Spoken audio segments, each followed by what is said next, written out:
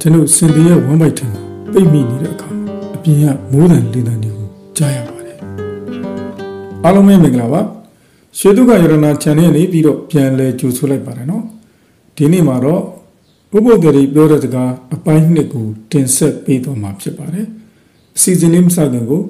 ရွှေဒုက္ခရတနာ channel ကို subscribe လုပ်ချက်လောက်နှိပ်ခဲ့ပေးပါဦးနော်ကဲဒါဆိုလို့ရှိရင်တော့အစီအစဉ်လေးကိုစလိုက်ကြအောင်ပါ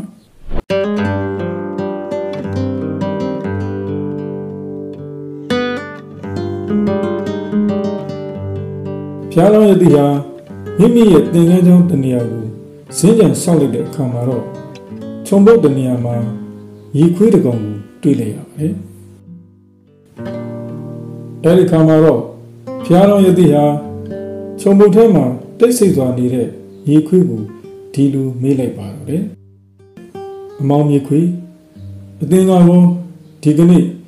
အစာမရှာအစာမစားရေမတော့ဖင်းနဲ့ သင်္ကန်းကျောင်းရဲ့အနီးခြုံပုတ်ထဲမှာတိတ်ဆိတ်စွာဥပုပ်စောင့်နေတာများလားမှန်ပါတယ်ဆရာရည်သည်ကျွန်ုပ်ဆရာရည်သည်ရဲ့သင်္ကန်းကျောင်းတနေရာခြုံပုတ်ထဲမှာတိတ်ဆိတ်စွာဥပုပ်စောင့်နေတာပါကောင်းပါပြီမောင်မီခွေကောင်းပါပြီအမောင်မီခွေရဲ့ဥပုပ်စောင့်ရတဲ့ရည်ရွယ်ချက်ကိုပြောပြပါဦးကောင်းပါပြီဆရာရည်သည် ကျွန်တော်ဥပုသ်ဆောင်တဲ့အကြောင်းရင်းကဒီလိုပါတနေ့သောအခါမှာကျွန်ုပ်ဟာအစာရှာထွက်ပါတယ်အဲ့ဒီနေ့ကကံကောင်းခြင်းတော့စင်ပြီးတကောင်ကိုတွေ့ပါတယ်ကျွန်တော်လည်းအားရဝမ်းသာနဲ့စင်ပြီးကိုကြိုက်လိုက်ပါတယ်ကျွန်တော်ရဲ့ခြုံထက်တဲ့သွားတွေဟာစင်ပြီးရဲ့အရေးကိုပေါက်ထက်တော့မကြိုက်နိုင်ခဲ့ပါဘူး နာမောင်းကိုကြိုက်တယ်မရပါဘူးရင်ကြောချီလက်စတဲ့နေရာတွေကိုပေါက်ထွက်တော့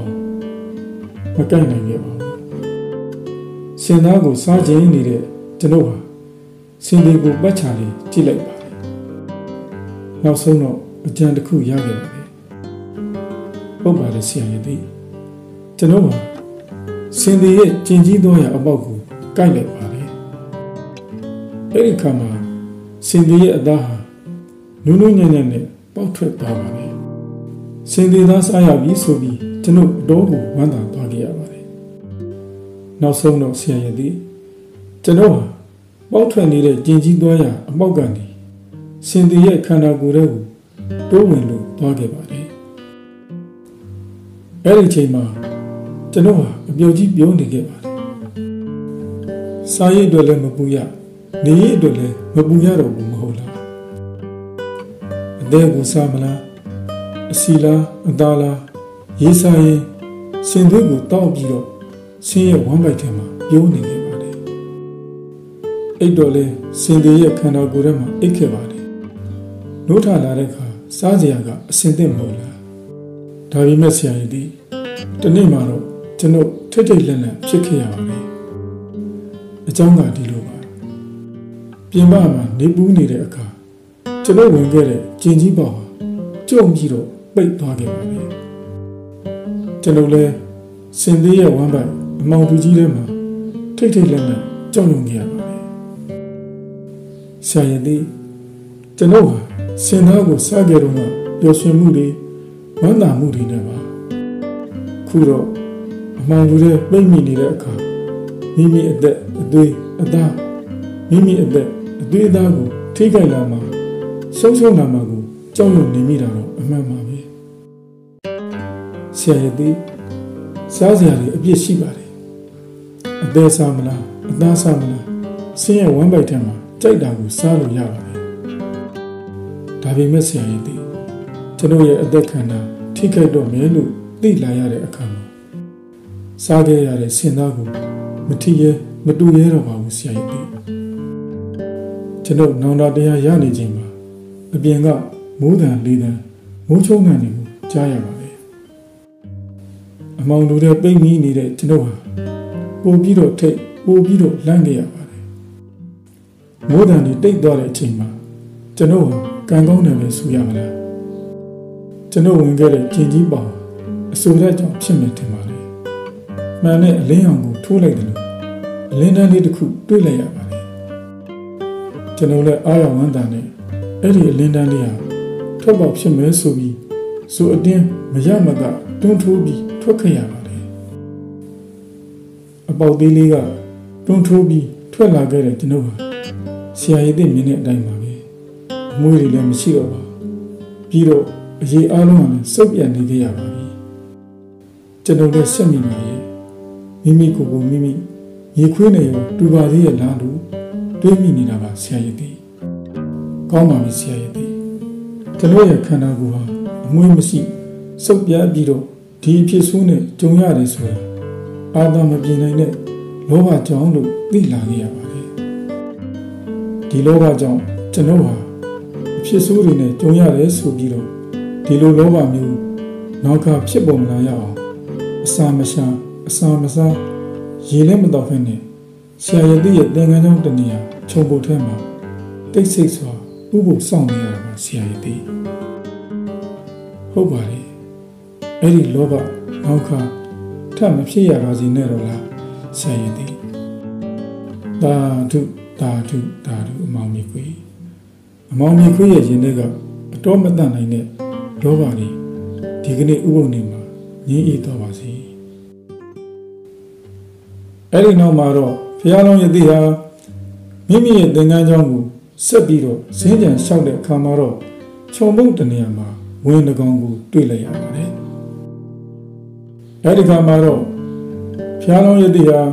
ခြုံပုံထဲမှာတိတ်ဆိတ်စွာနေထိုင်နေတဲ့ဝင်ကိုဒီလိုမေးလိုက်ပါတော့တယ်အမောင်ဝင်အသင်္ကာကိုသင်္ကန်းကြောင်းအနီးမှာတိတ်ဆိတ်စွာဥပုပ်ဆောင်နေတာများလားဟုတ်ပါတယ်ဆရာကြီးသိ ကောင်းပါပြီအမောင်ဝင်ကောင်းပါပြီအမောင်ဝင်ဥပုပ်ဆောင်ရတဲ့အကြောင်းကိုရှင်းပြပါဦးဆရာကြီးသိကျွန်တော်ဥပုပ်ဆောင်တဲ့အကြောင်းကဒီလိုပါတနေ့သောအခါမှာအစာရှာထွက်ပါတယ်ခါတိုင်းနေ့တွေမှာဆိုရင်မိမိကျင်တဲ့ကြက်စား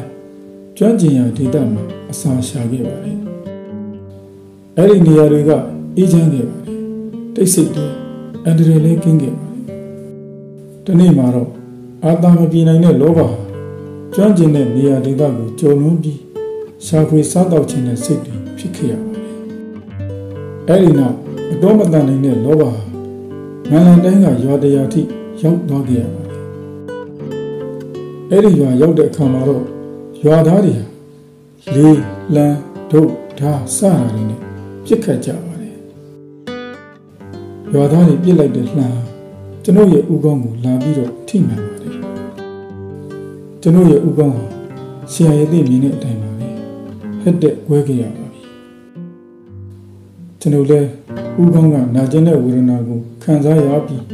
မအိပ်နိုင်မစားနိုင်ဖြစ်ခဲ့ရပါတယ်ကျွန်တော်စဉ်းစားမိပါတယ်ဒီဝေဒနာဟာအတော့မတတ်နိုင်တဲ့လောဘကြောင့်ဆိုတာသိလာခဲ့ရပါတယ်ဒါကြောင့်မို့ ဒီလိုလောဘနောင်ကထပ်မဖြစ်စေရဘူးသင်္ကန်းကြောင့်တနေရာမှာဥပုပ်စောင့်နေရတာပါဆရာရဲ့သိဟုတ်ပါတယ်နောင်ခါဒီလိုအတော့မတန်နိုင်တဲ့ဒီလောဘတွေမဖြစ်ပါစေနဲ့တော့လားဆရာရည်သည်ကောင်းပါပြီဆရာရည်သည်ဆရာရည်သည်ကတော့ဒီကနေ့တည်တည်မရှာရေမကပ်ဖဲသင်္ကန်းချောင်းတနေရာကြောက်ဖြာထက်မှာတနေကုန်တိတ်တိတ်ဆိတ်ဆိတ်နဲ့ ဥပုပ်ဆောင်နေတာများလားဟုတ်ပါပြီကျွန်တော်လည်းဥပုပ်ဆောင်နေတာပါဆရာရည်သည်ဥပုပ်ဆောင်ရတဲ့အကြောင်းကိုသိပြရစီကောင်းပါပြီကောင်းပါပြီကျွန်တော်ဥပုသ်ဆောင်တဲ့အကြောင်းကိုပြောပြပါမယ်ကျွန်တော်ဟာမာဂရတိုင်းရဲ့ချမ်းသာသူမိဘများကမွေးဖွားခဲ့ပါတယ်အတူတူရှင်းပြရရင်ကျွန်တော်ဟာပစ္စည်းကိုအကြောင်းပြုပြီးတော့မာမာနတက်ခဲ့ပါတယ် အမျိုးမျိုးကိုအမိပြုပြီးတော့လဲမာနကြီးခဲ့သူတယောက်ဖြစ်ခဲ့ပါတယ်မိမိနေထိုင်ရာနေရာတစ်ခုကိုအခြားသူတယောက်လာထိုင်ခဲ့ရင်ကျွန်တော်မကြိုက်ခဲ့တာအမှန်ပါဖြစ်ချင်တော့လွန်ခဲ့တဲ့တနေ့ကရှင်ပြည့်စိကဗုဒ္ဓဟာကျွန်တော်ထိုင်းနေတဲ့ကြောက်ဖြာပေါ်မှာလာပြီးတော့ထိုင်ပါတယ်ကျွန်တော်လည်းကျွန်တော်နေထိုင်ရာကြောက်ဖြာပေါ်မှာလာထိုင်ရမလားဆိုပြီးတော့ စိတ်ထဲမှာမကြင်မနဲ့ဖြစ်ပြီးတော့မထိန်နိုင်တဲ့ဒေါသတစ်ခုကြောင့်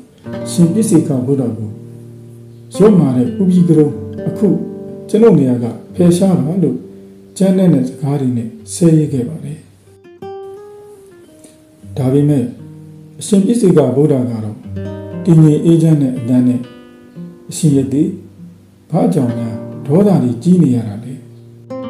အမျိုးအနွယ်ပစ္စည်းကိုအမိပြုပြီးတော့ မာမာနတက်မနေပါနဲ့အမှန်စင်စစ်အသင်ဟာတာမန်လူသားမဟုတ်ပါနောင်ပွင့်တော်မူပြီးဂေါရမဖျားလောင်းပဲဖြစ်တယ်မကြတော့အချိန်မှာဖျားဖြစ်မဲ့သူကမာမာနတွေမထားသင့်ပါလို့ဆုံးမစကားပြောခဲ့ပါတယ်ဒါပေမဲ့ကျွန်တော်ဟာရှင်ပြည့်စုံကဗုဒ္ဓကိုရှစ်ဖို့ရမှန်းလည်းမသိခဲ့ပါဘူးပြီးတော့ဘယ်ချိန်ဖျားဖြစ်မလဲဆိုတာမမေ့မိလိုက်ပါဘူးအ ရှင်မြတ်ကဆက်ပြီးတော့မိတ်ပါတယ်ရှင်ရသည်အသင်ဟာယသိဖြစ်ပါလေတရားဓုတွေနဲ့အတူကောင်းကင်သို့လည်းမပြန်နိုင်မိမိဆွန့်လွတ်ခဲ့တဲ့အမျိုးအနွယ်ပစ္စည်းများကိုအမိပြုပြီးမာနကြီးစွာတက်နေပါတယ်အသက်မှာရှိနေတဲ့မာနတရားကညီတို့မျှပြီးအကျိုးမရှိအသင်ရည်ဟာဘာကဲ့သို့ကောင်းကင်သို့ပြန်တက်နိုင်ပါ၏လို့ပြောဆိုပါ ကောင်းကင်သို့ပြန်တက်ကကျွန်ုပ်ရဲ့စံကျက်ဥပေါင်းပုံထက်မှာခြေမုံများခါချလို့သွားပါတယ်ကျွန်ုပ်လည်းထိတ်လန့်တုန်လို့သွားကြရပါတယ်လေးလံလာတဲ့ခန္ဓာကိုယ်ကိုဘာကွန်းတွေပေါ်ပေါ်ပါပါပြန်တက်နိုင်ပါလားဆိုတာသိကြရပါတယ်ကျွန်ုပ်မောင်နာကြီးစွာရခဲ့ရပါတယ်တကောအဋ္ဌိပတ်တွေနဲ့အတူဖျားဖြစ်မဲ့သူလို့မိန့်ကြားသွားတဲ့အရှင်မြတ်ကို ရှိခိုးခြင်းလည်းမပြုခဲ့ဘယ်ချိန်ဖျားဖြစ်မလဲဆိုတာလည်းမမေ့မိခဲ့ပါဘူးဟုတ်ပါတယ်ကျွန်ုပ်ဟာဒီကနေ့ကြောက်ဖြာထက်မှာတည်ပြီးမရှာရင်မကပ်ဖဲစွန့်လွတ်ပြီးခဲ့တဲ့အမျိုးအနွယ်နဲ့ပစ္စည်းဥစ္စာကိုအမိပြုပြီးမထားတိုက်တော့တဲ့မာနတရားတွေနောက်ကထပ်မဖြစ်စေဖို့ဥပုသ်စောင့်နေခြင်းဖြစ်ပါတယ်။ကောင်းပါပြီဆရာကြီးကောင်းပါပြီကောင်းပါပြီ။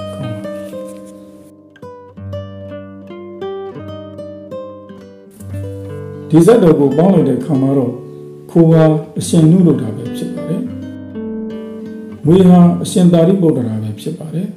။မြေခွေးဟာအရှင်မောက္ကလံဖြစ်ပါတယ်။ဝင်းဟာအရှင်မာကတ္တဗဖြစ်ပါတယ်။ယတိကတော့ဂေါရမမြတ်စွာဘုရားရှင်ပဲဖြစ်ခဲ့ပါတယ်။ကဲဇလန်းလေးကတော့ဒီလောက်ပါပဲနော်။ဒီဇလန်းလေးကိုနားထောင်ပြီးတော့မိမိတို့အနေနဲ့ အသိပညာဘုဒ္ဓတတစ်ခုခုရရှိသွားကြတယ်ဆိုရင်